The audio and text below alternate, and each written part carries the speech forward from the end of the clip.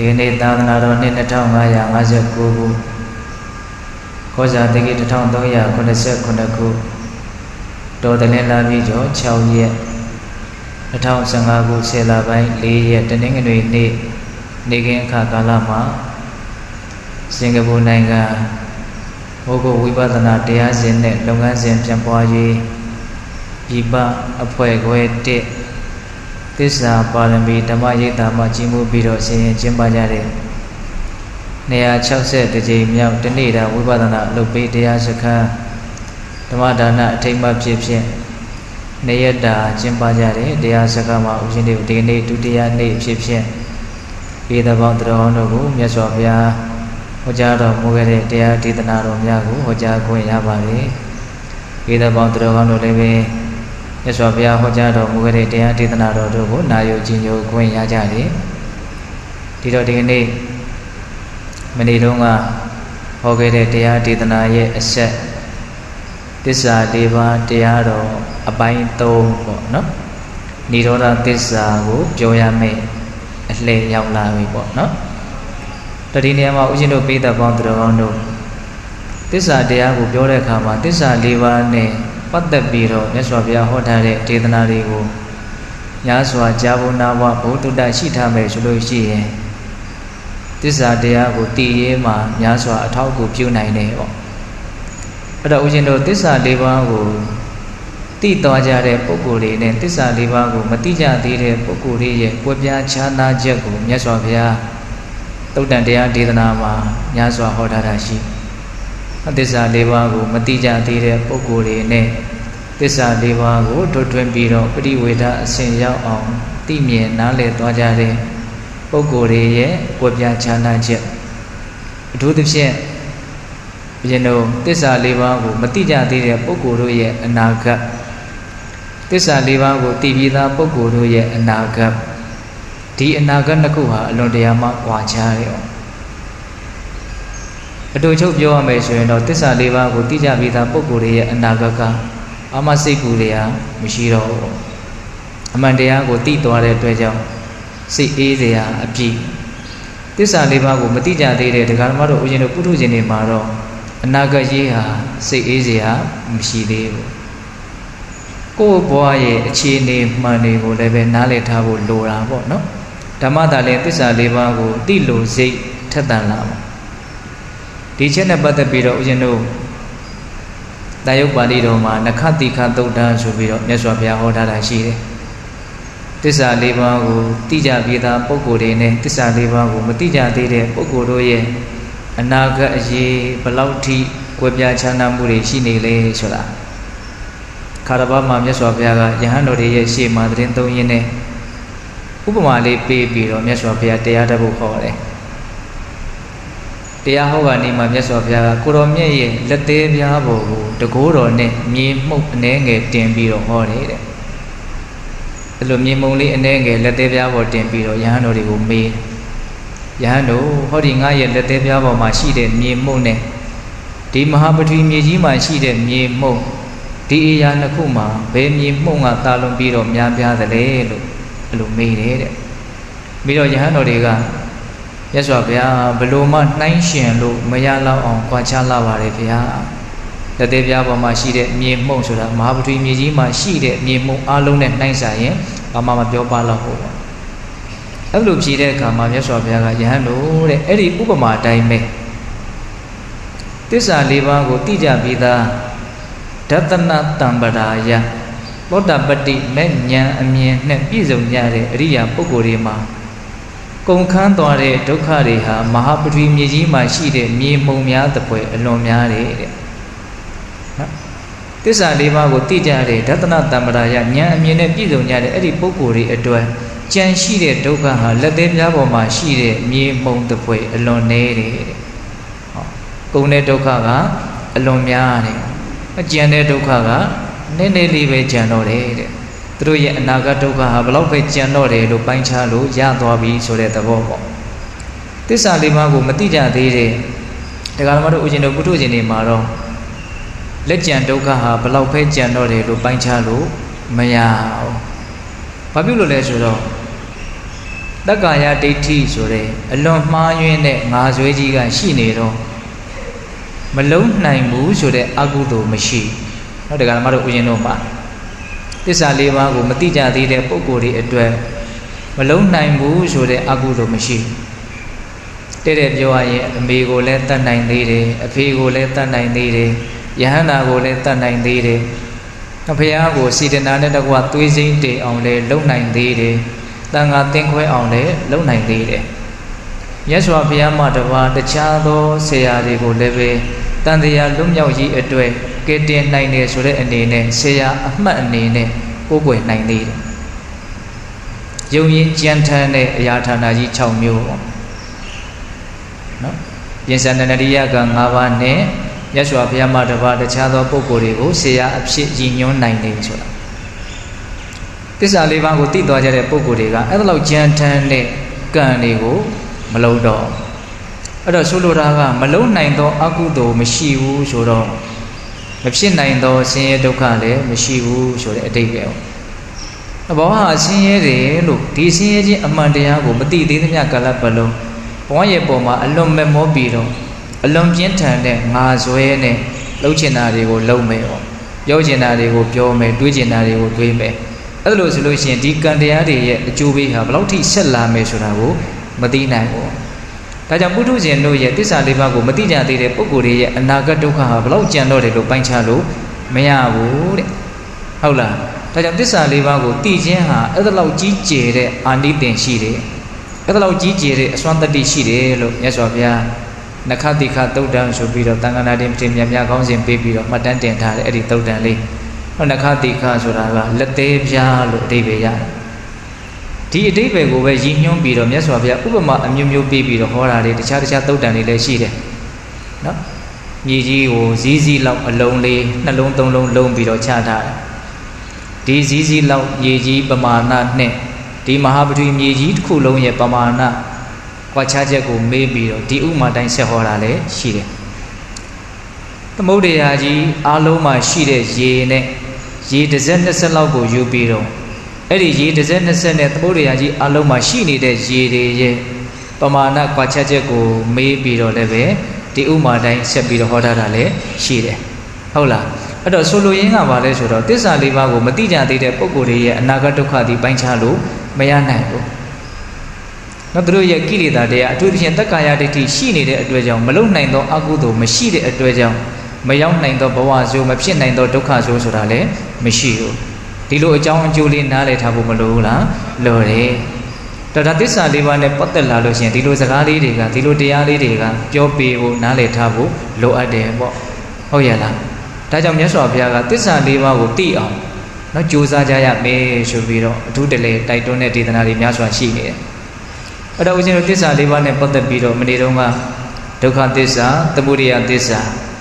သစ္စာနှစ်ပါးပြောခဲ့တယ်နော်ဒုက္ခသစ္စာနဲ့ပတ်သက်ပြီးတော့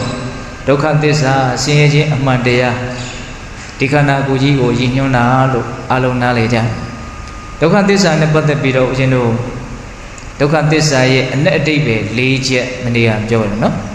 ဒုက္ခတာပိလနတ်ထောပိလနတ်ထနှိမ့်ဆက်တယ်ဆိုတဲ့အတိတ်ပဲပေါ့ဘယ်ပုံပဲနည်းနှိမ့်ဆက်လဲဆိုတာကြတော့မမိကြသေးလားမသိသင်္ခတထပြုပြင်ရသောအဖြစ်နှိမ့်ဆက်တယ် တန္တာပဋ္ဌပူလောင်စီသောအဖြစ်နှိမ့်ဆက်တယ်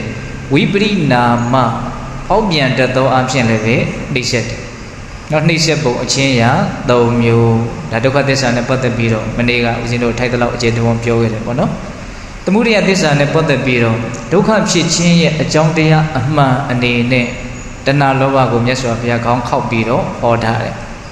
လောဘဆိုတဲ့တဘာဝသည်ဒုက္ခတွေကိုဖြစ်စေတတ်တဲ့အရာဒုက္ခသမုဒယအရိယသစ္စာအဲ့ဒီလောဘရဲ့စွမ်းရည်တတ္တိသမုဒယသစ္စာရဲ့အ내အဓိပ္ပာယ်၄မျိုးမနေ့ကပြောတယ်နော်အာယုဟနဒုက္ခတွေကိုစုဆောင်တတ်တဲ့စီဘူးတတ်တဲ့တဘာဝရှိတယ်လောဘဆိုတာနိဒာနတ္ထဒုက္ခတွေကိုစုဆောင်စီဘူးရှာဖွေမှတော့ရလာတယ်ဒုက္ခတွေရလာတယ်ဒုက္ခတွေကိုပေးတတ်တဲ့တဘာဝရှိတယ် ဒုက္ခပေးတယ်အာယုဟနနိဒာနတန်ယောဂဒုက္ခတွေနဲ့အမြဲတမ်းရှင်တွဲနေစေတဲ့သဘောရှိတယ်ဒီလောဘကမိမိဘဝမှာဒုက္ခတွေနဲ့ဘယ်တော့မှမကင်းမကွာရအောင်သူဟာအမြဲတမ်းရှင်တွဲထားတယ်ဥက္ကတ်ထားတယ်ချီနှောင်ထားတယ်ဆိုတဲ့အဓိပ္ပာယ်တန်ယောဂပြီးတော့ဗါလဲတော့ပလီဘောဓထွက်ရလက်ကြီးမခရီးကိုတားဆီးနှောင့်ယှက်ကန့်ကွက်တတ်သောအဓိပ္ပာယ် ဟုတ်လားကောင်းတာလေးလုပ်မယ်ဆိုလို့ရှိရင်အမြဲတမ်းကန့်ကွက်တယ်နှောင့်ယှက်တယ်ဆိုတဲ့တဏှာလောဘရဲ့စရုဒ္ဓအဓိပ္ပာယ်ပေါ့အဲ့ဒါမနေ့တုန်းကအဲ့ဒါလေးဦးဇင်းတို့မပြောခဲ့ဘူးလားဗျာပြောခဲ့တယ်နော်အဲ့တော့ဒီကနေ့ဦးဇင်းတို့និရောဓသစ္စာនិရောဓသစ္စာဆိုတာကနိဗ္ဗာန်ချမ်းသာကိုပြောတာပါနားလည်အောင်ပြောဖို့သဘောပေါက်ဖို့အလွန်ခက်ခဲတဲ့သဘာဝပေါ့ဟုတ်လားအဲ့ဒါနိဗ္ဗာန်နဲ့ပတ်သက်ပြီးတော့ ဒါဦးဇင်းတို့ပြောတဲ့ပုဂ္ဂိုလ်ကလည်းပဲစာပေအနေရပဲထိုက်တဲ့ဘုဟုတ္တလေးကိုအခြေခံပြီးတော့ပြောရမှာနားထောင်တဲ့ပုဂ္ဂိုလ်တွေကလည်းပဲဒါပုထုဇဉ်ပုဂ္ဂိုလ်တွေပြောတဲ့ပုဂ္ဂိုလ်ကလည်းပုထုဇဉ်ပုဂ္ဂိုလ်ဆိုတော့ကိုတကယ်မသိသေးတဲ့အရာကိုတကယ်မသိသေးတဲ့ပုဂ္ဂိုလ်တွေကိုပြောနေတာဆိုတော့နော်အကြီးအကျယ်ကြီးနားရှင်းဖို့တော့မျောလင့်ထားလို့မရဘူးဟုတ်လားစားတဲ့ပါရလောက်ပဲဦးဇင်းတို့ပြောနိုင်တယ်နော်ဘာမှကိုလည်းပဲဟိုဟာဟာတိတိကျကျနော်ကိုတို့အနေနဲ့ဘာမှသိထားတာမရှိပါဘူး ဒီနိရောဓသစ္စာနဲ့ပတ်သက်ပြီးတော့မြတ်စွာဘုရားကဘလို့အတိပ္ပယ်ဖွင့်ပြထားတယ်ဘလို့ရှင်းလင်းပြောပြထားလဲပေးတဲ့တို့ရထားတဲ့ဓမ္မစကြာပါဠိကိုပဲပြန်ရွတ်ပြရမယ်နော်ဣဒံခောပဏ္ဏဘိက္ခဝေဒုက္ခនិရောဓံအရိယသစ္စာဒုက္ခនិရောဓံအရိယသစ္စာတော့ဒုက္ခချုပ်ရာအရိယာတို့သိတဲ့အမှန်တရားဆိုတာဘာကိုပြောတာလို့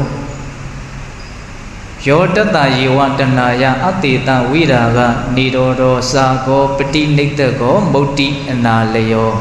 ဘေးတို့ရတယ်မဟုတ်လားမနေ့ကတဏှာလောဘအကြောင်းပြောရတယ်နော်ခုအဲ့ဒီတဏှာလောဘနဲ့ပဲဆက်ဆက်ပြီးတော့ပြောမှာနိဗ္ဗာန်ချမ်းသာကိုမြတ်စွာဘုရားကယောတတယေဝတဏယ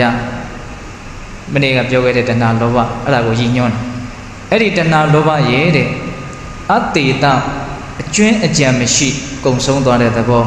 ဝိရာကနေရောတော်ချုပ်ဆုံးသွားတဲ့သဘောစာကောနော်စွန့်လွတ်ရာပဋိနိဒကောတဖန်စွန့်လွတ်ရာမုတ်တိလွတ်မြောက်ရာအနာလျောညိကတ်တွေ့တာမှုမရှိရဒါနိဗ္ဗာန်ရဲ့အတိပ္ပယ်ကိုမြတ်စွာဘုရားဖွင့်ပြနော်ယောတတယေဝတနာယအတေတဝိရာကနေရောတော်စာကောပဋိနိဒကောမုတ်တိအနာလျောဟုတ်လားမုတ်တိဆိုတာဘာတော့နော်မုတ်တိဆိုတာစွန့်လွတ်တာပေါ့နော် အနာလေယဆိုတာညစ်ကပ်တွေ့တာမှုမရှိတာအာလေယအာလေယဆိုတဲ့စကားလေးတော့ဗမာတွေပြောကြတယ်မဟုတ်လားအာလေယဖြတ်လိုက်ပြီးဒါရဲ့ပုံမှာစိတ်ဝင်စားတော့ဟုတ်လားညစ်ကပ်တွေ့တာမှုမရှိနောက်ခုပါတော့အနာလေယလို့ပြောထားတယ်နော်အာလေယမရှိနော်အာလေယဆိုတာလောဘကိုပြောတာပါပဲအဲ့ဒီအာလေယကင်းပြတ်သွားတာကိုဘာလို့ပြောတော့နိဗ္ဗာန်လို့ပြောဟုတ်လားအဲ့တော့ဦးဇင်းတို့ပိဿပေါင်းတော်တို့ဒီနိဗ္ဗာန်ချမ်းသာနဲ့ပတ်သက်ပြီးတော့ နိဗ္ဗာန်ချမ်းသာကိုဒါတိုင်းမျက်မှောက်ပြုနိုင်တာကသိနိုင်မြင်နိုင်တာကမဲ့ညာဖို့ညာအဲ့ဒီမဲ့ညာဖို့ညာဆိုတာကိုမရကြသေးတော့ဒကာဓမ္မတို့ဦးဇင်းတို့တွေကမှန်းဆပြီးတော့သူတော်ကောင်းကြီးတွေဘုရားဆရှိတဲ့သူတော်ကောင်းကြီးတွေပြောခဲ့တဲ့စကားကိုပဲအခြေခံပြီးတော့ဒါပြောကြဆိုကြရနားထောင်ကြရတာဟုတ်ရလားအဲ့တော့ဒါကသိဖို့မြင်ဖို့အလွန်တရာမှခက်ခဲတယ်ဟောသူ့ကိုသိကျင်တယ်မြင်ကျင်တယ်ဆိုရင်ပြောတဲ့ဆိုတဲ့ယုံများနဲ့လည်းမရဘူးနားထောင်တဲ့ယုံများနဲ့လည်းမရဘူးတကယ်သိကျင်တယ်ဆိုရင်တော့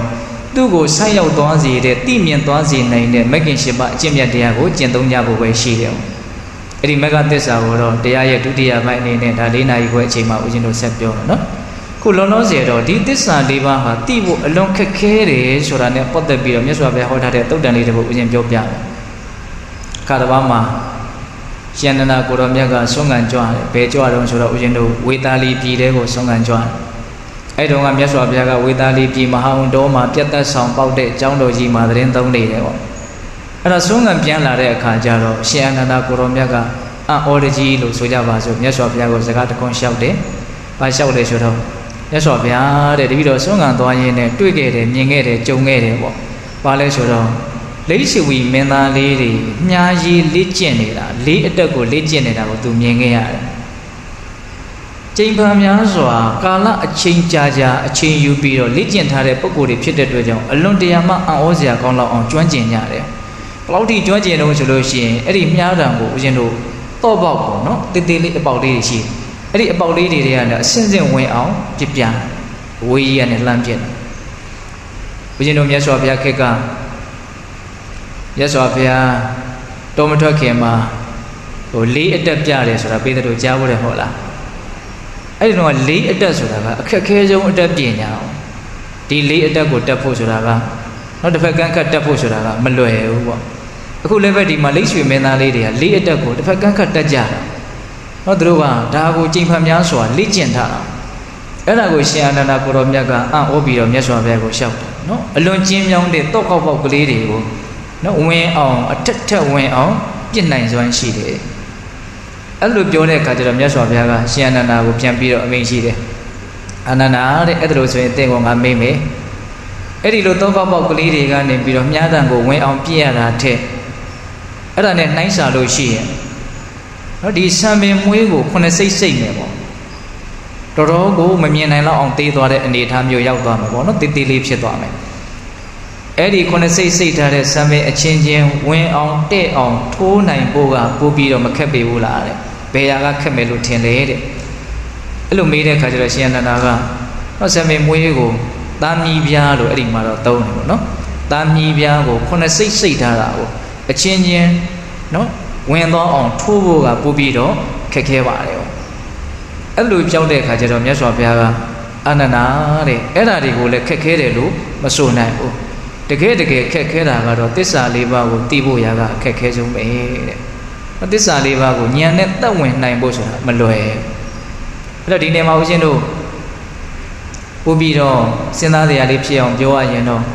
သစ္စာလေးပါးကိုသိဖို့တဲ့သစ္စာလေးပါးတရားကိုကြားရဖို့ဆိုတာကိုကမလွယ်သေးဘူးဒါကိုကတော့လွယ်လွယ်ကူကူကြားနေရလို့ပြောနေရလို့ဒါဟာသိပြီးတော့ခက်ခဲတယ်လို့ထင်စရာအကြောင်းတော့မရှိဘူးလို့လည်းပြောမယ်ဆိုရင်ပြောလို့ရတယ်ဒါကကိုယ့်ရဲ့ကံတွေကဖန်တီးလာတာလေးတွေကအလွန်ကောင်းလို့ တွေ့ရရကြုံရရကြားကြရနားကြတာဟုတ်လားတကယ်တမ်းကြည်ကြည်ပြည့်ပြည့်စဉ်းစားကြည့်မယ်ဆိုရင်သစ္စာလေးပါးကိုသိဖို့မဆိုတဲ့နဲ့သစ္စာလေးပါးတရားကိုကြားဖို့တော့မလွယ်ခုကြားဘူးပြီဆိုအောင်တော့လည်းပဲဒါကိုညံသက်ဝင်နိုင်ဖို့နားလည်ဖို့ဆိုတာမလွယ်ဘူးဟုတ်လားအနုဘောဓညံမှန်းဆပြီးတော့သိတယ်ဆိုတဲ့ညံမှာလည်းပဲတယောက်နဲ့တယောက်တူနိုင်မလားမတူဘူးနော်မှန်းတယ်ဆိုတဲ့နေရာမှာတော့တယောက်နဲ့တယောက်ဘယ်အတိုင်းတာထိနီးစပ်အောင်မှန်းနိုင်မလဲဆိုတာကမရှိဘူးလားရှိတယ် ပฏิဝေဒအစဉ်ထိုးထွင်းပြီးတော့ဓတ္တိမှန်မှန်ကန်ကန်သိဖို့ဆိုတာကြတော့ပို့ပြီးတော့ကဲကဲသွားတယ်ခုမြတ်စွာဘုရားရည်ညွှန်းပြီးတော့ပြောနေတာကအဲ့ဒီအစဉ်ကိုရည်ညွှန်းပြီးတော့ပြောနေတာနော်သစ္စာလေးပါးကိုထိုးထွင်းပြီးတော့သိဖို့ဆိုတာလွယ်တဲ့ကိစ္စမဟုတ်ပါဘူးတဲ့ဟုတ်ရလားဒါကြောင့်ပိဿပေါင်းသူတော်ကောင်းတို့ဒီမလွယ်ဘူးဆိုတာကဘာကြောင့်ပြောရတာတော့ဦးဇင်းတို့မှာရည်ရွယ်ချက်ရှိတယ်ပိုးပြီးတော့ကြိုးစားရမယ်ဆိုတဲ့အနေအထားကိုရည်ရွယ်ပြီးတော့ပြောတာ ဟုတ်လားမလွယ်တာကိုလက်လျှော့ဖို့ဆိုပြီးတော့ပြောတာမဟုတ်မလွယ်ရင်ဘာလုပ်ရမလဲပိုးပြီးတော့ကြိုးစားရမယ်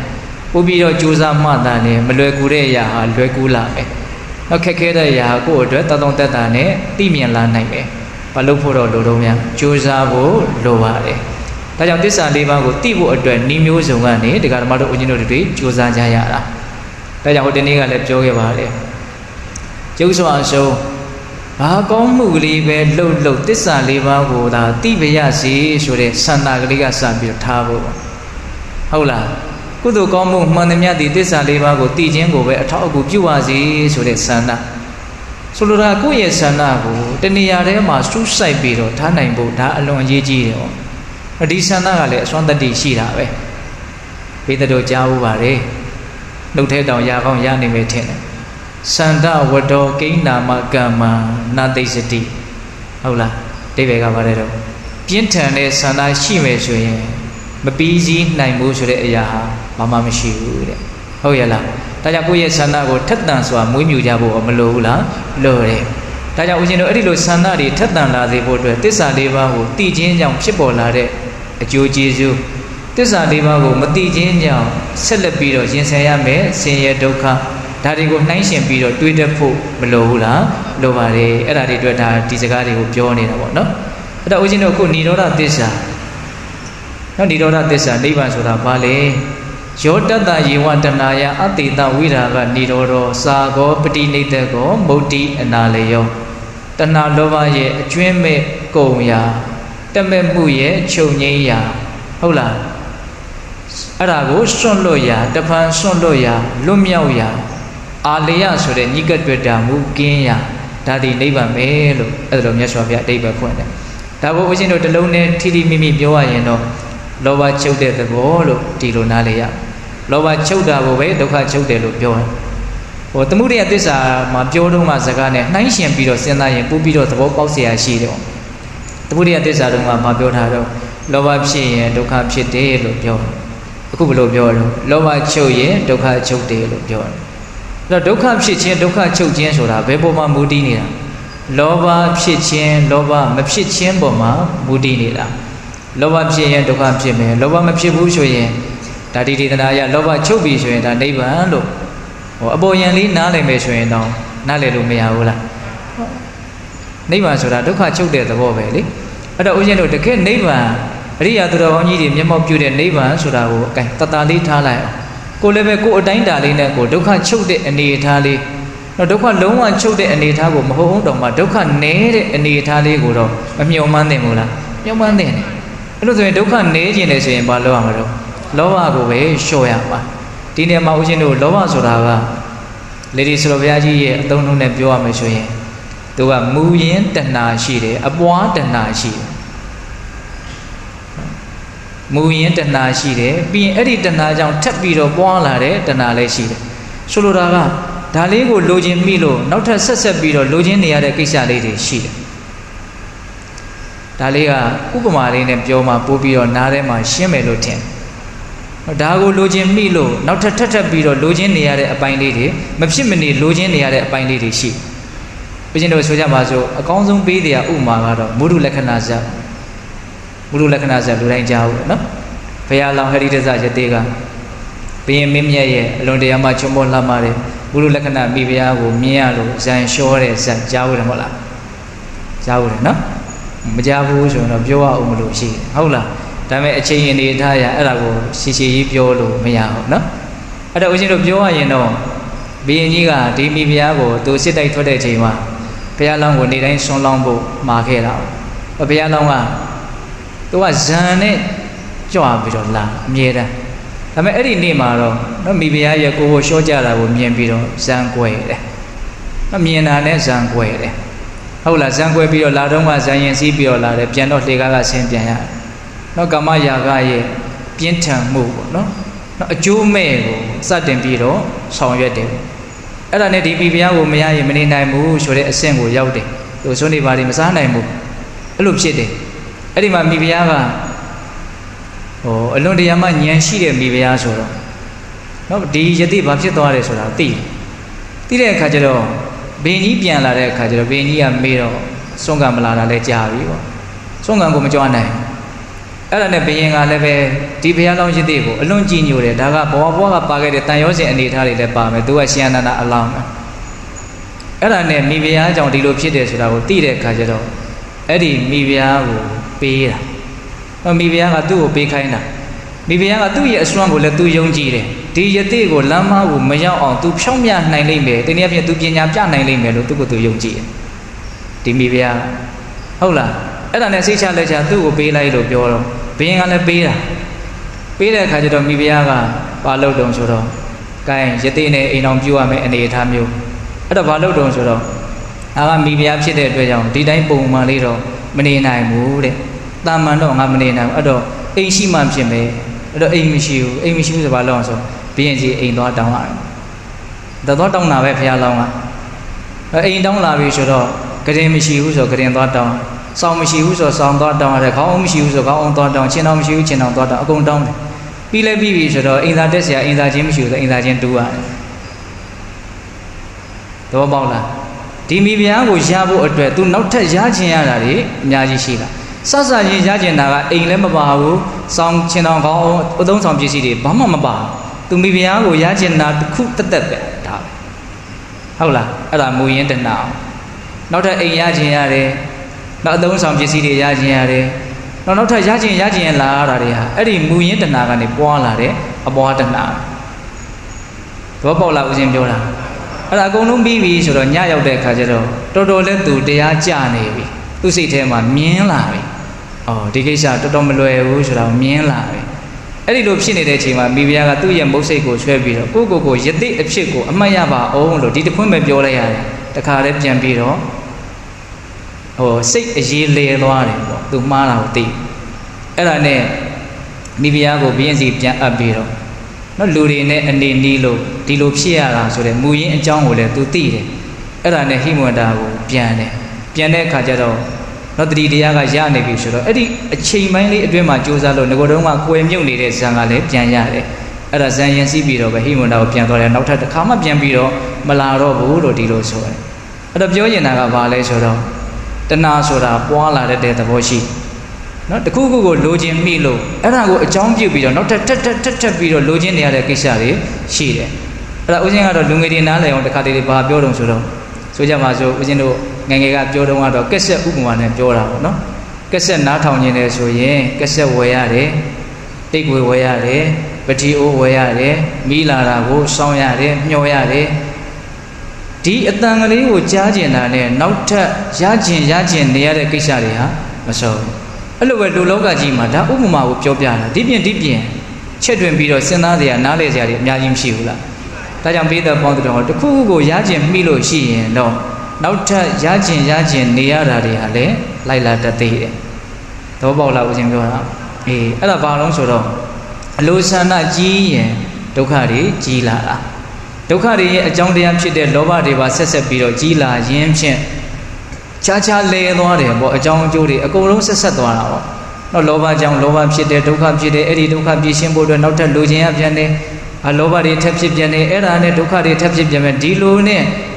ဘယ်နှမ်းကစပြီးတော့ဖြတ်တော့မှတော့မသိလောက်အောင်ရှုပ်ထွေးသွားနိုင်တယ်ပေါ့ဟုတ်လားဒါကြောင့်မြတ်စွာဘုရားကဒီလိုအကြောင်းအကျိုးသဘာဝတွေကိုမှန်မှန်ကန်ကန်မသိနော်သမုဒိယကြောင့်ဒုက္ခဖြစ်တယ်ဆိုတာကိုမှန်မှန်ကန်ကန်မသိဘူးဆိုရင်မှန်မှန်ကန်ကန်မသိတဲ့ပုဂ္ဂိုလ်ရဲ့ဘဝဟာစာပေါင်းတိုက်ကြီးလိုရှုပ်ထွေးလာမယ်တဲ့နော်မုံဇပပ္ပစဗုဒ္ဓအချီခင်တွေဥပေါက်နေတယ်လို့တန်တကုလဇာတာအချီဝင်ဥပေါက်တာမြင်ဘူးမလားမသိဘူး ဦးဇင်းတို့ငယ်ငယ်တုန်းက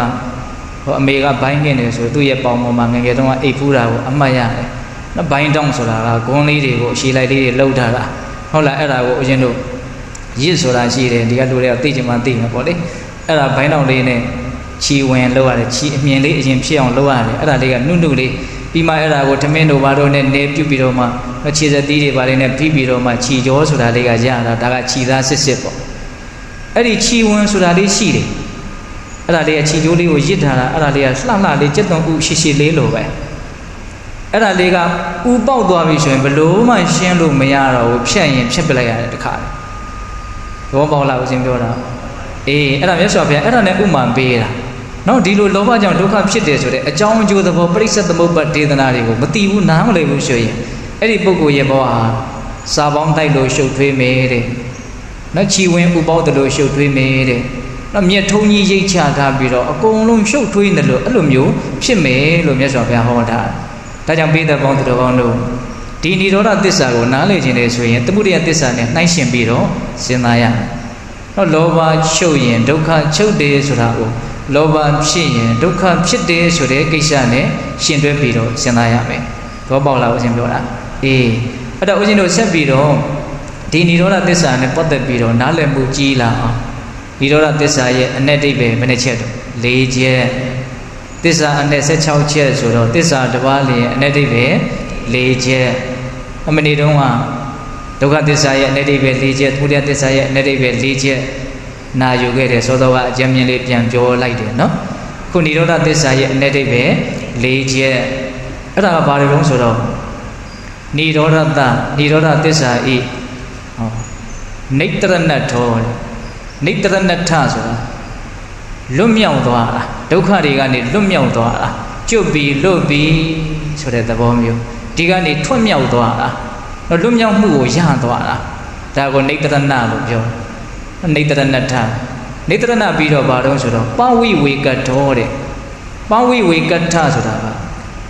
ကင်းရှင်းသွားတာနော်စိတ်ကိုရေလို့နော်ဟောစိတ်ဟောဦးဇင်းတို့ ကင်းစိတ်သွားတယ်လို့စာကတော့အဲ့လိုလေးရေးပြတယ်ဒီအသုံးနှုန်းလေးတွေကလူငယ်တွေနဲ့နည်းနည်းအလှမ်းဝေးမယ်လို့ထင်တယ်အမှန်ကတော့လွတ်ကင်းသွားတာလွတ်မြောက်သွားပြီဆိုတော့ဒါနဲ့ဆက်ဆက်မှုမရှိတော့ဘူးအဲ့ဒါကိုလေဒီဆိုပြီးရတော့ပို့ပြီးတော့နားလည်အောင်သူကတော့စကလုံးအမျိုးမျိုးသုံးပြီးတော့ရှင်းပြတယ်နှောင့်ယှက်မှုကင်းသွားတာဒီကိလေသာတရားတွေဒီဒုက္ခတရားတွေရဲ့နှောင့်ယှက်တာကိုမခံရတော့နော်ပဝိဝေကတ္ထနှောက်ရှက်မှုကင်းသွားတာ နော်နေတရဏထကဘာတော့လွတ်မြောက်သွားတာပဝိဝေကကဘာလဲနော်နှောက်ရှက်မှုကင်းသွားတာပြီးတော့ဦးဇင်းတို့ဘာလဲဆိုတော့အမတတ်ထောအမတတ်ထဆိုတာကသေခြင်းသဘောမရှိတာပျက်စီးခြင်းသဘောမရှိတာဖြစ်တဲ့သဘောမဟုတ်တဲ့အတွက်ကြောင့်ပြက်တဲ့သဘောလည်းမရှိဘူးနိဗ္ဗာန်မှာပျက်စီးတယ်ဆိုတာမရှိဘူးပြောင်းလဲတယ်ဆိုတာမရှိဘူးအမတတ်ဓာတ်ဒါကိုပြောတာနော်အမတတ်ထော ပြီးတော့ဘာလို့ဆိုတော့အသင်္ခတထောတဲ့အသင်္ခတဆိုတာကနားလည်အောင်ပြောရရင်တော့ဘာမှလုပ်เสียမလို့မပြုပြင်เสียမလို့ဆိုတဲ့အတိတ်ပဲနော်သူ့ကိုဘာမှအကြောင်းတရားကမှပြုပြင်ထားတာမဟုတ်ပင်ကိုအငိမ့်တက်လို့အကြံမြင်နားလည်ရမယ်ပေါ့ဟုတ်ရဲ့လားအဲ့ဒါនិရောဓသစ္စာနိဗ္ဗာန်နဲ့ပတ်သက်ပြီးတော့ပြောရတာခက်တယ်ဆိုတာအဲ့ဒါပဲအလုခက်တာတော့ဆိုတော့ကိုညံဝန်တက်ဝင်ကျက်စားနိုင်တဲ့အရာမဟုတ်သေးလို့ဟုတ်လား ဒါကြောင့်ပိဿပေါင်းတော်အောင်လို့လည်းပဲရာနှုံးမြူကြီးနားလည်ဖို့ကတော့မလွယ်သေးဘူးရာနှုံးမြူနားလည်ခြင်းလေဆိုရင်တော့နားလည်အောင်သူလမ်းကြောင်းကိုကိုရှောက်ရမယ်ပေါ့ဟုတ်လားဒါကြောင့်တချို့ကိစ္စတွေကကိုနားမလည်နိုင်လို့ဟောဒီဥစ္စာကိုလက်မခံဘူးဒါဟာရှိမှမဟုတ်ဘူးဒီလိုတွက်လို့မရတော့လောကီကိစ္စတွေမှာတော့မှကိုနားမလည်နိုင်ဘဲနဲ့ရှိနေတဲ့ဖြစ်နေတဲ့အရာတွေအများကြီးမရှိဘူးလားရှိတာ哦ကိုတော့နားမလည်ဘူးဒါပေမဲ့တကယ်တော့ရှိနေတာတကယ်တော့ဖြစ်နေတာဟုတ်လား ဒါကြောင့်နိဗ္ဗာန်ချမ်းသာနဲ့ပတ်သက်ပြီးတော့နားမလည်သေးတော့လည်းပဲအာမငယ်ဖို့တော့လိုတယ်ပေါ့ဟုတ်ရဲ့လားဒါကြောင့်နိဗ္ဗာန်ရဲ့အနေအိပဲအခုဘယ်နှမျိုးပြောတော့၄မျိုးဟုတ်လားပြန်ပြောမယ်နော်နိဗ္ဗာန်ရဲ့အနေအိပဲနော်ပထမဘာအစလာတော့နေတရဏနော်လွတ်မြောက်သွားတာနော်ကိလေသာကနေပြီးတော့လွတ်မြောက်သွားတာလို့နားလည်လို့လည်းရတယ်ဒုက္ခတွေကနေပြီးတော့လွတ်မြောက်သွားတာလို့ဒီလိုနားလည်လို့လည်းရ ဟုတ်လားပဝိဝေကတ္ထဆိုတာကနှောင့်ယှက်မှုတွေကင်းသွားတာနော်ဒုက္ခတွေနဲ့ဆက်ဆက်မှုမရှိတော့ဘူးဒုက္ခတွေနဲ့ရှင်သွင်းနေရတဲ့အနေအထားကနေပြီးတော့ပြီးဆုံးသွားပြီဟုတ်လားအေးအမတ္တထဆိုတာကမပျက်စီးတဲ့သဘောနော်အသင်္ခတ္တဆိုတာကတော့ဘာမှမလုပ်ရတော့တဲ့သဘောပြုပြင်မှုမရှိဘူးဟုတ်ရလားအဲ့ဒါကိုလေဒီဆိုဘုရားကြီးကတော့သူကပို့ပြီးတော့နားလည်လွယ်အောင် နော်သောတာပန်ပုဂ္ဂိုလ်တို့ရဲ့အနေအထားကိုအခြေခံပြီးတော့ရှင်းပြတယ်နော်အမြင့်မားဆုံးအရဟတမဉ္ဇဉ်အရဟတပုံဉာဏ်ရပြီးတဲ့အနေအထားမျိုးနဲ့ရှင်းပြတာမဟုတ်ဘူးနော်သောတာပန်ပုဂ္ဂိုလ်တယောက်နိဗ္ဗာန်ချမ်းသာကိုမျက်မှောက်ပြုရပြီဆိုလို့ရှိရင်အဲ့ဒီဂုံကြီးစု၄မျိုးကိုသူတခါတည်းရတယ်တဲ့သူလည်းသူအတိုင်းတာနဲ့သူရတယ်ပေါ့နော်သောတာပန်ဖြစ်သွားပြီဆိုလို့ရှိရင်နေတရဏ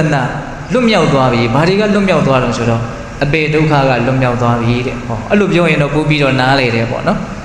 ပြီးတော့အပေယောက်ျောင်းကံတရားတွေရှိုးွားတဲ့အလုပ်တွေကိုသူဘယ်တော့မှမလုပ်တော့ဘူးအဲ့ဒီအလုပ်တွေကလည်းပဲသူလုံးဝလွတ်မြောက်ခွင့်ရသွားပြီသူမှအဲ့ဒါကိုလုပ်ဖို့အတွက်ဘာအကြောင်းပြချက်မှရှာစရာလည်းမလိုဘာအကြောင်းပြချက်မှလည်းမရှိဘူးဒါကဓမ္မတို့ဦးချင်းတို့တွေကတော့ဥထုရှင်တွေဆိုတော့အမေယောက်ျောင်းအကုသိုလ်တွေကိုပဲတခါတလေကိုယ်အကြောင်းပြချက်နဲ့ကို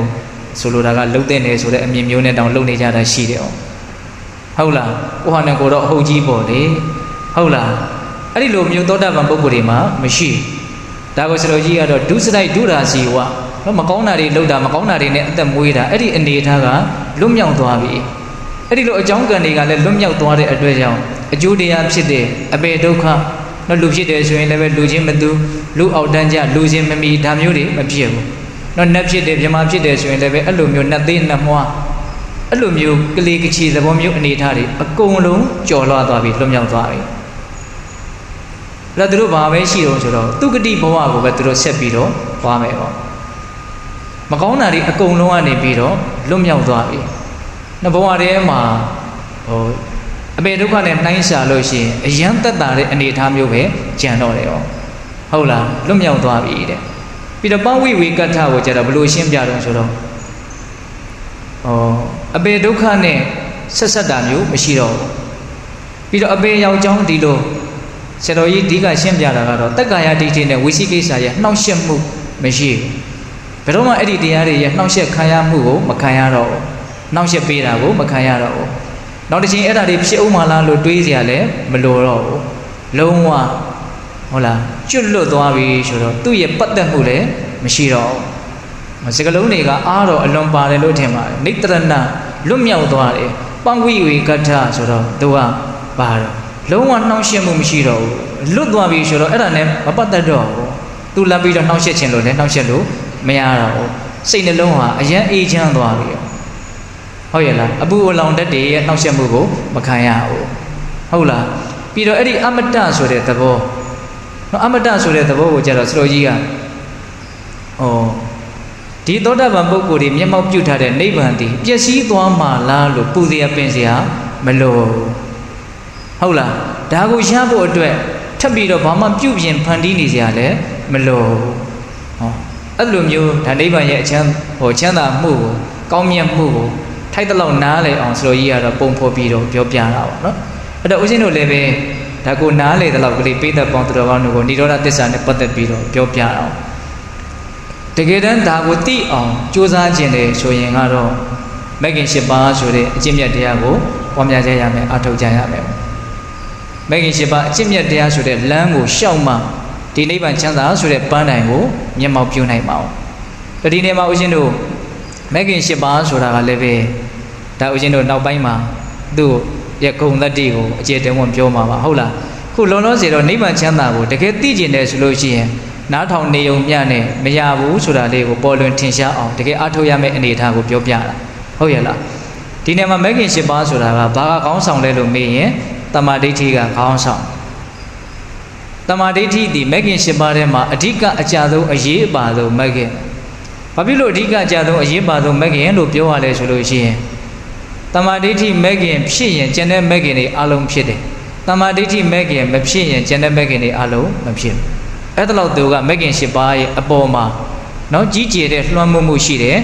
အရေးပါမှုရှိတယ်အဓိကကြမှုရှိအဲ့ဒါမင်းကွန်းဆိုကြီးကတော့သူက ယထာတော်ကြီးရှစ်တွဲမှာခေါင်းတွဲကိုသာပုံမှန်ခုံမောင်းမယ်ဆိုရင်နောက်တွဲခုနှစ်တွဲဟာအလိုလိုလိုက်မယ်လို့အဲ့လိုဥမာပြောတယ်ပေါ့မဂ်ကင်၈ပါးဆိုတဲ့ယထာတော်ကြီးရှစ်တွဲမှာတမာဒိဋ္ဌိဆိုတဲ့ခေါင်းတွဲကိုသာပုံမှန်ခုံမောင်းမယ်ဆိုရင်တမာသင်္ကပ္ပအစရှိတဲ့ကျင်တဲ့မဂ်ကင်ခုနှစ်ပါးသည်နောက်ကနေပြီးတော့အလိုလိုလိုက်လာတယ်ဒီတမာဒိဋ္ဌိဟာနားလေစရာအကောင်းဆုံးအဲ့တော့တမာဒိဋ္ဌိဆိုတာကဘာပြောတာတော့ဟောတမာဒိဋ္ဌိရဲ့အတိတ်ပဲ တမ္မာဆိုတာကမှန်ကန်စွာဒိဋ္ဌိဆိုတာကသိတာမြင်တာမှန်စွာသိတဲ့အတိမှန်စွာမြင်တဲ့အမြင်ဟောဒီလောက်တော့လူတိုင်းသဘောပေါက်ကြတယ်ပေါ့နော်အဲ့တော့မှန်တဲ့အမြင်ဆိုရင်ဘယ်လိုအမြင်ကိုမှန်တဲ့အမြင်လို့ပြောမလဲဟောအဲ့ဒါကြတော့စဉ်းစားရရှိလာတယ်နော်တမ္မာဒိဋ္ဌိဒီမှန်ကန်တဲ့အမြင်လို့ဆိုတယ်ဒါနဲ့ဘယ်လိုမြင်တဲ့အမြင်ကိုမှန်ကန်တဲ့အမြင်လို့ပြောမလဲအဲ့ဒါနဲ့ပတ်သက်ပြီးတော့မြတ်စွာဘုရားကတမ္မာဒိဋ္ဌိရဲ့အတိပ္ပယ်ကို သစ္စာလေးပါးကိုသိခြင်းသည်တမ္မာဒိဋ္ဌိလို့ဒေသနာအများစုမှာတော့အဲ့ဒီတိုင်းဟောတယ်။နောက်ခုပြောတဲ့သစ္စာလေးပါးနောက်ခန္ဓာဟာဆင်းရဲတယ်လို့သိရင်တမ္မာဒိဋ္ဌိလောဘဟာဒုက္ခဖြစ်ကြောင်းလို့သိရင်တမ္မာဒိဋ္ဌိနောက်နိဗ္ဗာန်ဆိုတာလောဘချုပ်ရလို့သိရင်တမ္မာဒိဋ္ဌိဒီနိဗ္ဗာန်ကိုမျက်မှောက်ပြုခြင်းနဲ့ဆိုရင်မဂ္ဂင်ရှိပါကိုပွားများရမယ်လို့သိတာဒီတမ္မာဒိဋ္ဌိတမ္မာဒိဋ္ဌိရဲ့အဓိပ္ပာယ်ကိုသစ္စာလေးပါးကိုသိတာဒီတမ္မာဒိဋ္ဌိလို့ပြောတယ်ဒါကလည်းပဲအဆင့်အမျိုးမျိုးရှိနိုင်တာပေါ့နော်အနုဘောဓသိနဲ့သိတဲ့ အတိဒါကတော့လောကီတမ္မာဒိဋ္ဌိဖြစ်မှာပေါ့ဟုတ်လားပฏิဝေဒနဲ့သိတဲ့အတိရောက်ရင်တော့ဒါကတော့လောကုတ္တရာတမ္မာဒိဋ္ဌိရောက်သွားပြီတော့ဒီနေရာမှာဦးဇင်းပြောခြင်းတဲ့တမ္မာဒိဋ္ဌိကအဲ့ဒီအတိပ္ပယ်တွေနဲ့ဟိုလုံးဝကြီးကွဲလဲနေတာတော့မဟုတ်အဲ့ဒီထဲမှာအကျုံးဝင်တယ်ဒါပေမဲ့တမျိုးမြတ်စွာဘုရားဟောထားတဲ့တမ္မာဒိဋ္ဌိရဲ့အတိပ္ပယ်ရှိသေးတယ်အဲ့ဒါကဘာလဲဆိုတော့မမြဲသောတဘာဝတွေကိုမမြဲဘူးလို့သိရင်တမ္မာဒိဋ္ဌိလို့မှတ်ရမယ်လို့ဒါတိုင်းဟောထားတဲ့သုတ်တန်တစ်ပုဒ်ရှိတယ် နော်အနိရှင်ညီဝဘိခဝေရူပံအနိရှန္တိပတ္တိမမြဲတည်တာလည်းဖြစ်သောရုပ်တရားကိုမမြဲဘူးလို့သိရင်အဲ့ဒါတမ္မာဒိဋ္ဌိလို့မှတ်ရမယ်ဟောအဲ့ဒါဝေဒနာတင်ညာသင်္ခါရဝိညာဉ်ခန္ဓာ၅ပါးလုံးကိုအဲ့ဒီတိုင်းနီးတူဟောတယ်ဆိုလိုတာကခံစားချက်တွေမှတ်သားမှုတွေရှေ့စောပြုလုပ်မှုတွေသိမှုဝိညာဉ်ဟုတ်လားဒီခန္ဓာ၅ပါးရုပ်တဏ္ဍသဘာဝတရားပေါ့နော်ဒီသဘာဝတရားတွေကိုမမြဲဘူးလို့သိရင်ဒါပါတဲ့တော့ သမာဓိဋ္ဌိနော်မတည်မြဲတဲ့သဘာဝတရားတွေကိုမတည်မြဲဘူးလို့သိရင်သမာဓိဋ္ဌိ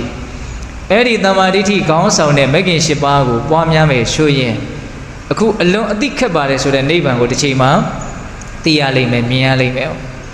ဟုတ်လားဒါကြောင့်တချို့ကိစ္စကဩသူ့လမ်းကြောင်းကိုသူရှောက်မှသူ့အကြောင်းတရားကိုသူစီးဘူးမှသူသူဖြစ်လာမဲ့သဘာဝကိုကဆန္ဒတွေစောပြီးတော့ တော့လောတွေကြီးနေလို့လည်းပဲရလာတာမျိုးမဟုတ်ဟုတ်ရလားဒါကြောင့်မဂ်ခင်၈ပါးအကျင့်မြတ်တရားကိုကျင့်မှနိဗ္ဗာန်ချမ်းသာကိုမျက်မှောက်ပြုရမဂ်ခင်၈ပါးအကျင့်မြတ်တရားမှာလည်းပဲအရေးပါတဲ့မဂ်ခင်ကဘာလဲတမ္မာဒိဋ္ဌိမဂ်ခင်တမ္မာဒိဋ္ဌိမဂ်ခင်ဆိုဒီကအကျူပြောခဲ့ပြီမမြဲသောတဘာဝကိုမမြဲဘူးလို့သိတာဒီတမ္မာဒိဋ္ဌိအဲ့တော့ဦးဇင်းတို့ဒါတွေကိုအကုန်လုံးပြန်ပြီးတော့ခြုံပြောရမယ်ဆိုရင် မမြဲတဲ့သဘာဝကိုမမြဲဘူးလို့တိတိတိတိနေနိုင်အောင်ကြိုးစားခြင်းတည်ပင်လေနိဗ္ဗာန်ချမ်းသာကိုမျက်မှောက်ပြုဖို့အတွက်အထုတ်နေတာလို့မဆိုနိုင်ဘူးလားဆိုနိုင်တယ်ဒါပဲဟုတ်လားအဲ့ဒါလို့ဆိုရင်ဆက်ပြီးတော့ပြောစရာစကားတစ်ခုရှိတာကအဲ့ဒီမမြဲတဲ့သဘာဝတရားတွေကိုမမြဲဘူးလို့သိဖို့ဆိုတာကလည်းမလွယ်သေးဘူးဟုတ်တယ်မဟုတ်လားဒီဖြစ်ပြက်ဖြစ်ပြက်နဲ့နှလုံးထဲနဲ့နားလည်ဖို့တော့တော်တော်ခက်တယ်လို့ထင်တယ်နားလည်တယ်လို့လို့နဲ့နားမလည်တာလေးတွေ ဟုတ်နေတယ်လို့လို့နဲ့မဟုတ်သေးတာလေးတွေလည်းရှိနိုင်တာပဲဟုတ်လားအဲ့တော့ကိုယ်ခန္ဓာမှာဖြစ်နေတဲ့သဘာဝတရားတွေဟာမတည်မြဲဘူးဆိုတာကတော့တော့အကြအရာစာပေအရာကတော့ငယ်ငယ်လေးတည်းကစားသိနေတာပဲကြားနေတာပဲကိုလည်းစဉ်းစားဘူးနေတာပဲဒါပေမဲ့အဲ့ဒါကိုကိုဘေးအတိုင်းအတာထိသိတယ်လေဆိုတာအဲ့တော့ဦးဇင်းတို့ဘေးသက်ပေါင်းသူတော်ကောင်းတို့မတည်မြဲတဲ့သဘာဝကိုမတည်မြဲဘူးလို့သိကျင်တဲ့ဆိုရင်အကောင်းမွန်ဆုံးနီလန်းကတော့တတိပဋ္ဌာန်တရားပဲရှိတယ်။ နော်တတိထားတဲ့နီလန်းဒါကဒီယုံ nant တွေကသူတို့ရဲ့မတည်မြဲတဲ့သဘာဝကို ထုတ်ဖို့မပြခြင်းလို့ကိုမရအောင်တတိသာထားနိုင်မယ်ဆိုလို့ရှိရင်ပုံကွယ်နေလို့မရအောင်သူတို့ရဲ့သဘောတွေကိုတည်တည်ချာချာကိုတူးဖို့ပြီးတော့မြင်နိုင်မှာပဲသိနိုင်မှာပဲ။ဘာနဲ့တူးဖို့အောင်ဆိုတော့တတိနဲ့တူးဖို့ရသဘောပေါက်လားဦးဇင်းပြောတာ။အေးဒါကြောင့်ဘာပဲဖြစ်ဖြစ်တတိထားတဲ့လုပ်ငန်းဟာအလွန်တရာမှမြင့်မြတ်တယ်။ တော့တတိထားခြင်းအဖြစ်အနေဆာကိုသိမယ်။အနေဆာကိုသိပြီဆိုလို့ရှိရင်ဒါမြတ်စွာဘုရားဟောတဲ့ဒေသနာအရတမာဒိဋ္ဌိအမှန်ကန်စွာမြင်တဲ့အမြင်ကိုရပြီလို့မဆိုနိုင်ဘူးလားဆိုနိုင်တယ်နော်ဘာကိုအခြေခံရတတိကိုအခြေခံရတယ်ဒါကြောင့်ဦးဇင်းတို့တမာဒိဋ္ဌိရဲ့တမာသင်္ကပ္ပရဲ့တမာဝါယမရဲ့တမာတတိရဲ့တမာတမာတိရဲ့ဒါကိုမိုးကုတ်စတော်ကြီးကဘယ်လိုပြောတော့လှုပ်သားမဲခင်၅မျိုးလို့ပြောတယ်နော် တော့တကယ်အလုပ်လုပ်ရတာကဘယ်လိုလုပ်ရအောင်ဆိုတော့တတိကအဓိကနေရာမှာအလုပ်လုပ်ရတယ်ဟုတ်လားတတိထားတယ်ဝရိယလည်းတွဲပါရတာပဲတတိကဝရိယကခါပြက်နေရင်တတိကဒီတတိကရှေ့ဆက်မှာမဟုတ်ဟုတ်လားတတိတွေကိုတတိပြီးတတိဖြစ်အောင်လုပ်နေတာကဝရိယရဲ့တွန်းအားဟုတ်ရလားအေးအဲ့ဒါလို့လုပ်တဲ့အခါကျမှတမာတိဆိုတဲ့တည်ငြိမ်မှုကလေးကဖြစ်လာထိုက်တဲ့တည်ငြိမ်မှုလေးကရလာလား အဲ့ဒီတည်ငြိမ်မှုကလေးရလာမှဩဒါဟာမတည်မြဲတဲ့သဘာဝပဲလို့မှန်မှန်ကန်ကန်သိတဲ့ဉာဏ်ပညာတမာဒိဋ္ဌိဆိုတာဖြစ်လာတာသဘောပေါက်လားအေးအဲ့ဒီမှာဦးဇင်းတို့မှန်မှန်ကန်ကန်တွေးတောကြံစီတဲ့တမသင်္ကပ္ပဆိုတာလည်းပဲဒါသူအတိုင်းတာနဲ့သူဖြစ်ပေါ်သွားတယ်ပေါ့နော်အဲ့တော့ဆိုလိုတာကပိဋကပေါင်းသူတော်ကောင်းတို့နိဗ္ဗာန်ချမ်းသာကိုမျက်မှောက်ပြုကျင်တယ်ဆိုရင်မဂ်ကင်၈ပါးကိုပွားရမဂ်ကင်၈ပါးဖြစ်ပေါ်စေခြင်းတယ်ဆိုလို့ရှိရင်တတိပဋ္ဌာန်တရားကိုပွားများရမယ် ဟုတ်ရဲ့လားအဲ့တော့တတိပဋ္ဌာန်တရားပွားများတယ်ဆိုတာမနေ့တုန်းကလည်းဒါကိုပဲဦးစားပေးပြီးတော့ဦးဇင်းတို့ပြောတာပါပဲဟုတ်လားမိမိရဲ့ခန္ဓာမှာဘာပဲဖြစ်နေဖြစ်နေဖြစ်တာကတော့အကြောင်းတရားတွေရှိတဲ့အတွက်ကြောင့်ဖြစ်နေမှာပဲအမြင်စရာတွေရှိတော့မြင်တာပေါ့ကြားစရာတွေရှိတော့ကြားတာပေါ့မြင်စရာရှိတယ်ဆိုတာဘာပြောတာအစင်းတွေရှိတာကိုလည်းရည်ညွှန်းတယ်မျက်လုံးတွေကောင်းနေတာကိုလည်းရည်ညွှန်းတယ်အလင်းရောင်တွေရှိနေတာကိုလည်းရည်ညွှန်းတယ် အာယုံပြုမှုနှလုံးသွင်းမှုတွေရှိနေတယ်ဆိုတာကိုလည်းရည်ညွှန်းတယ်ဒီအကြောင်းတရားတွေတစ်ခုခုချွတ်တဲ့သွားရင်မြင်တယ်ဆိုတာမဖြစ်နိုင်ဟုတ်ရဲ့လားအဲ့တော့မြင်နေကြားတယ်နမ်းရှူတယ်စားတော့တယ်တွေးထိတယ်တွေးကြံတယ်ဒီ6အုပ်စုပေါ့နော်ဒါတွေဖြစ်တာဘာလို့ဖြစ်တာအကြောင်းရှိလို့ဖြစ်တာအကြောင်းရှိလို့ဖြစ်တာနော်အဲ့တော့အကြောင်းရှိရင်ကတော့အကြောင်းအားလျော်စွာဖြစ်ခြင်းသဘောတရားတွေကတော့မယမနာဒလဇတ်ဖြစ်နေတာကိုကဘာလို့ဖို့လို့ အဲ့ဒီဖြစ်နေတာတွေကိုလိုက်ပြီးတော့သိဖို့လိုတယ်ဟုတ်လားအဲ့ဒါကိုဒလဇတ်သိနိုင်လေလေတတိအားကောင်းပြီးတော့တမာတိတွေဖြစ်ပြီးတော့ဉာဏ်ပညာတွေဟာဖြစ်လာမှာဟုတ်ရဲ့လားဒါကြောင့်ကိုယ့်ရဲ့တာဝန်ကိုယ့်ရဲ့လုပ်ရမယ့်အလုပ်ကတတိထားတဲ့လုပ်ငန်းနော်တတိထားတဲ့လုပ်ငန်းကိုစွစွမြဲမြဲလုပ်မယ်ဆိုလို့ရှိရင်ဉာဏ်ပညာဆိုတာသိကြပါဦးဖြစ်ထွန်းလာမယ်အဲ့ဒီဉာဏ်ပညာရင့်ကျက်လာတာနဲ့အမျှတဖြည်းဖြည်းနဲ့နားလည်မှုတွေကြီးပြီးတော့နောက်ဆုံးဉာဏ်ပညာက မဲ့ညာအဆင့်ကိုရောက်မယ်ဆိုရင်အခုအတိခက်ပါတယ်ဆိုတဲ့နိဗ္ဗာန်ချမ်းသာကိုတောင်မသိရပြီဘူးလားသိရလိမ့်မယ်အေးအဲ့ဒါသိပြီဆိုရင်တော့အဲ့ဒါမြတ်စွာဘုရားဟောထားတဲ့အတိုင်းနော်နေတရဏဒုက္ခတွေကနေလွတ်မြောက်သွားပဲပဝိဝေကဒုက္ခတွေကိလေသာတွေရဲ့နှောင့်ယှက်မှုကိုခံရစရာအကြောင်းမရှိတော့ဘူးလုံးဝရှင်းလင်းသွားတယ်ဟုတ်လားပြီးတော့ပါတော့အမတမသေးရမပျက်စီးရနော်အသင်္ခတထအာမပြုပြင်စရာလှုပ်စရာ မလို့ဟုတ်ရဲ့လားဒါကြောင့်ပိဿပေါင်းသူတော်ကောင်းတို့ဒီនិရောဓသစ္စာအလွန်တရာခက်ခဲနဲ့နေတဲ့သဘာဝဟုတ်ရဲ့လားဒါကိုသိဖို့မြင်ဖို့အတွက်တုံယုံတယုံစူးစမ်းအထောက်မှုနဲ့ကတော့မရနိုင်ဘူးပေါ့နော်ဒါကြောင့်လည်းမြတ်စွာဘုရားကနေယိဒံတိတိလမာရဗနေယိဒံအပိဏဌာမတာနိဗ္ဗာန်အဓိကန္တပံတပ္ပကန္ထပမောစနနော်အလုံးစုံသောအထုံးအဖွဲ့တွေကလွတ်မြောက်ရာဖြစ်တဲ့နိဗ္ဗာန်ဆိုတဲ့တရားတို့တရားမြတ်ကို အနည်းငယ်မြသော လုံလအနည်းငယ်မြသောအာအစွမ်းနဲ့တော့မရနိုင်ဘူးလို့အဲ့တိုင်ဟောထားဟုတ်ရဲ့လားဒါကြောင့်ပိဿပေါင်းတော်ကောင်းတို့နည်းနည်းလေးကြိုးစားအထောက်တာနဲ့တော့ရမှာမဟုတ်နော်အေးဒါကြောင့်အာအစွမ်းကိုရှိသလောက်ထုတ်ပြီးတော့ကြိုးစားကြရမယ်ပေါ့နော်ဒါကတော့ဦးဇင်းတို့လောကီချမ်းသာနဲ့ပြည့်စုံအောင်တောင်ဘလောက်ကြိုးစားကြရသလဲဆိုတာလေးနဲ့နှိုင်းရှင်ရင်လည်းပဲတမျိုးနားလည်နိုင်တယ်ပေါ့နော်ငွေရှာရတာတောင်လွယ်ပါသလားမလွယ်ပါဘူးဟုတ်ရဲ့လား အဲ့တော့ချမ်းသာတဲ့ချမ်းသာမှာဒီလောက်ကောင်းမြတ်တဲ့ဒီလောက်အမကန်ချက်ရှိတဲ့တဘာဝတရားကိုသိဖို့မြင်ဖို့ဆိုတာကပို့ပြီးတော့မလွယ်ဘူးဆိုတာကိုနားလည်ရအဲ့တော့မလွယ်ဘူးလို့ပြောနေတာကစောစောကပြောခဲ့တယ်နော်အားငယ်ဖို့ပြောနေတာမဟုတ်ပါဘယ်လိုပြောတာပို့ပြီးတော့ကြိုးစားဖို့လိုအပ်တယ်ဆိုတာကိုစဉ်းစားမိဖို့ပြောပြတာဟုတ်ရဲ့လားဒါကြောင့်ကိုယ့်ရဲ့ဆန္ဒဝရိယစိတ်ပညာဒါတွေကိုပြည်စည်းခြင်းရဲ့အကြောင်းတရားအိဋ္ဌိပတ်တရားတွေလို့နားလည်ပြီးတော့ ဒီအိဋ္ဌိပတ်တရားတွေကိုမြင့်တင်နိုင်မှသာလေဒကာဓမ္မတို့ဦးဇင်းတို့လိုချင်တဲ့ရချင်တဲ့မျက်မှောက်ပြုကျင်တဲ့နိဗ္ဗာန်ချမ်းသာဆိုတာကိုရကြလိမ့်မယ်မျက်မှောက်ပြုကြရလိမ့်မယ်ဒီနိဗ္ဗာန်ဆိုတဲ့និရောဓသစ္စာသည်ဗုဒ္ဓဘာသာဝင်အားလုံးတို့ရဲ့အဓိကပန်းတိုင်ပေါ့နော်အေးဒါကြောင့်ဒီပန်းတိုင်ကိုရောက်ချင်တယ်ဆိုလို့ရှိရင်အကြောင်းတရားများစွာပြည့်စုံအောင်အားထုတ်ရမယ်ပေါ့နော်အခြေခံကြတဲ့အကြောင်းတရားကတော့ဆန္ဒရဲ့ဝိရိယရဲ့စိတ်ရဲ့ပညာရဲ့ ဒီတရားလေးပါးကိုဘာလို့လဲမြတ်စွာဘုရားဟောထားသေးလဲအိဋ္ဌိဘတ်လို့ဟောထားတယ်မဟုတ်လားနာဘူးကြတယ်မဟုတ်လားအိဋ္ဌိဘတ်တရားအိဋ္ဌိပါဒအိဋ္ဌိဆိုတာပြီးစီးခြင်းပါဒဆိုတာအခြေခံပြီးစီးခြင်းရဲ့အခြေခံအကြောင်းတရားများအိဋ္ဌိဘတ်တရား၄ပါးပဋ္ဌာန်းဒေသနာရွတ်ကြတဲ့ပုဂ္ဂိုလ်တွေဆိုရင်အဓိပတိပိစယောဆိုရင်အဲ့ဒါမရွတ်ဘူးလားရွတ်တယ်နော်စန္ဒိဋ္ဌိပဝိရိယိဋ္ဌိပစိတ်ဒိဋ္ဌိပဝိမန်ဒိဋ္ဌိပ ပြင်းထန်တဲ့ဆန္ဒသည်အလုပ်တစ်ခုပြီးစီးခြင်းရဲ့အခြေခံအကြောင်းတရားဟုတ်လားပြင်းထန်ထက်သန်တဲ့ဝရိယသည်အလုပ်တစ်ခုပြီးစီးခြင်းရဲ့အခြေခံအကြောင်းတရားအလွန်တရာဆွဲမြဲတဲ့စိတ်ဝင်စားမှုသည်အလုပ်တစ်ခုပြီးစီးခြင်းရဲ့အခြေခံအကြောင်းတရားဒီအလုပ်ကိုဘလို့လုပ်ရမယ်ဒီအလုပ်ကိုလုပ်လို့ရရှိမဲ့အကျိုးကျေးဇူးဟာဘလို့ရှိတယ်မရရင်ဘလို့ဒုက္ခရောက်နိုင်တယ်လို့ကွက်ကွက်ပြပြသိမြင်နားလည်တဲ့ပညာသည်အလုပ်တစ်ခုပြီးစီးခြင်းရဲ့အကြောင်းတရား ဆန္ဒရဲ့ဝရိယရဲ့စိတ်ရဲ့ပညာဝိမာန်တဆိုတာပညာကိုပြောတာနော်ဒါကလောကီလိုလေးလည်းပဲအလွန်နားလည်စရာကောင်းနော်တခုခုပြီးခြင်းနဲ့အောင်မြင်ခြင်းနဲ့ပေါက်မြောက်ခြင်းနဲ့ဆိုရင်ဒီတရား၄ပါးမရှိလို့မရဟုတ်လားဒါကြောင့်ပေးသက်ပေါင်းသူတော်ကောင်းတို့အခြေခံကြတဲ့အဲ့ဒီတရား၄ပါးကိုအရင်တိဆောက်ပြီးတော့နော်အလွန်တရာအသိခက်တယ်လို့ဆိုတဲ့ဘုရားအစရှိတဲ့အရိယာသူတော်ကောင်းကြီးတွေအလွန်မြတ်နိုးတန်ဖိုးထားတဲ့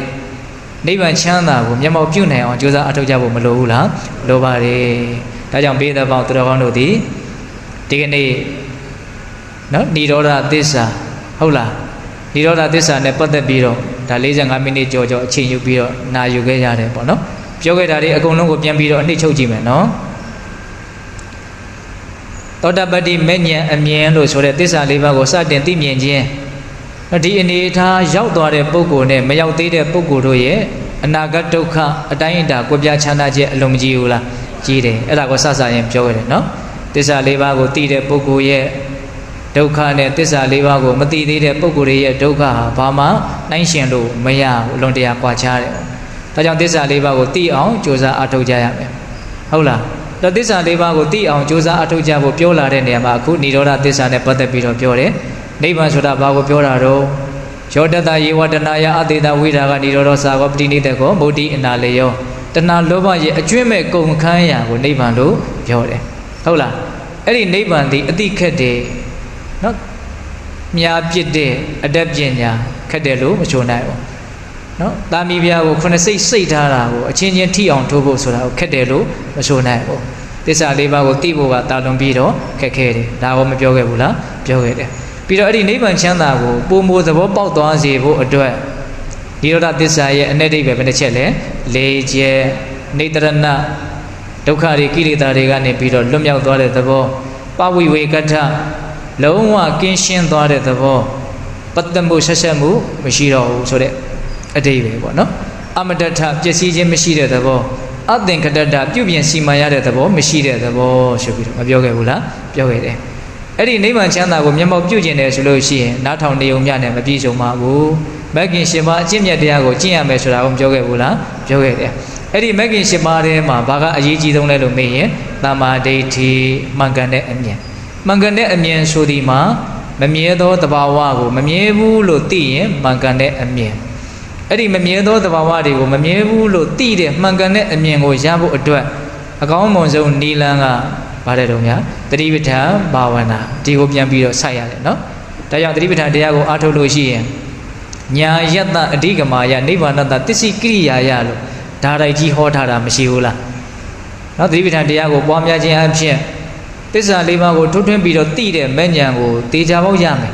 မဲ့ညာရလို့ရှိရင်ကာလမချဘဲနဲ့ဖိုးညာဆိုတာဖြစ်မယ်ဖိုးညာဆိုတာဖြစ်ရင်နိဗ္ဗာန်ချမ်းသာကိုကြိမ်ဖန်များစွာဝင်စားလို့မရဘူးလားရတယ် အဲ့ဒါတွေကိုရဖို့အတွက်တတိပဋ္ဌာန်တရား၄ပါးသည်ရှောင်လန်းကြရမယ်တကြောင်ဒီသောလမ်းလို့အဲ့ဒါလိုခေါ်ပါတယ်နော်ဒါကြောင့်ပိဿပေါင်းသူတော်ကောင်းတို့ဒီရောဓသစ္စာနဲ့ပတ်သက်ပြီးတော့ဒီရောဓသစ္စာရဲ့သဘောတဘာဝဒီရောဓသစ္စာကိုဆိုက်ရောက်နိုင်အောင်မျက်မှောက်ပြုနိုင်အောင်ဘယ်ပုံမနည်းစ조사အထောက်ရမလဲဆိုတဲ့အကြောင်းဒါအချင်းချုပ်ကလေးပဲဦးဇင်းတို့ပြောပါတယ်နော်ဒါကြောင့်ဒီကနေ့ပိဿပေါင်းသူတော်ကောင်းတို့ပြုလုပ်အထောက်အပ်သောဒါနသီလတမာတိပညာကုသိုလ်ကောင်းမှုအရှုရှုတို့ရဲ့စွမ်းတတ္တိကြောင့် ဘုရားတပည့်တော်တို့သည်မဉ္ဇဉ်ပူညာမျက်နှိပ်ပံကိုမျက်မှောက်ပြုပရာရှိကုန်သောဟု ပတနာအောင်ရှုပြုကြကုန်ရာတည်း